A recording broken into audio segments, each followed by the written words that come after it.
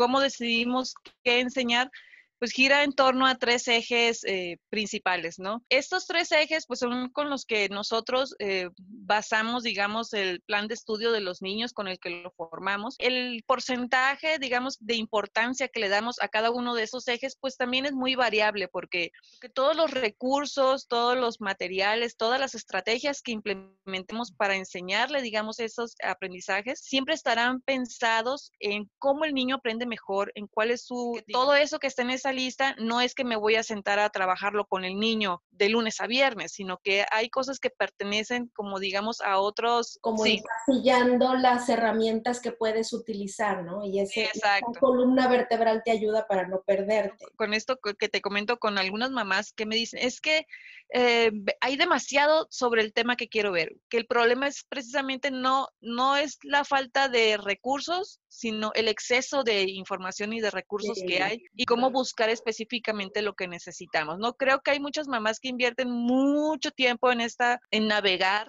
Mm, no le dimos visibilidad, digamos, con, eh, mediante la organización, pues hay recursos que se pueden quedar ahí años y, y, que estamos desaprovechando. Esa forma de hacerlo es que puedes armar como un menú. ¿A qué hora se puede hacer todo eso si además tienes la casa y además tienes a los niños? Y, y, aparte tienes el canal y a qué horas se hace todo esto. La pregunta del millón que, me, que me hacen muy seguido.